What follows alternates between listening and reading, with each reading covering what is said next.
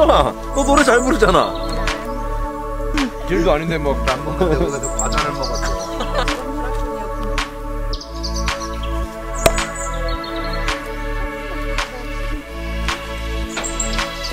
이걸로 이걸로 요번 캠핑 시작하냐?